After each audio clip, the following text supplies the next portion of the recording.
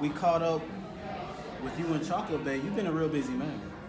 Yeah, yeah. I just been grinding, staying focused, pushing content out. Uh, me and my girl has definitely been doing good and keeping things moving. So part yes, of that. Yes, yes, yes. And um, I'm glad that uh, we can catch you.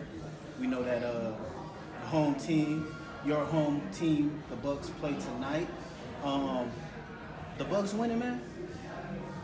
They worry me. I'm not gonna lie to you. They worry me. I do want them to win, though. I do have them winning in Game Seven. You know, I know everybody in, in the beginning said it was gonna win in Game Six. Some got the Suns winning in six. Me, I got the I got the Bucks winning in seven. Um, a hard fought seven, but we got to we got to get this win at home. Then we definitely got to steal one away. Either either either first home game in Phoenix or this or their or Phoenix's second home game. We got to steal one of those, and then we got to come back to the city and get that W.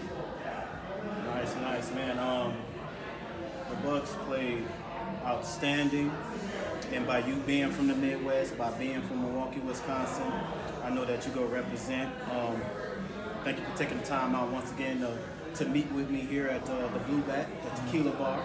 Uh, so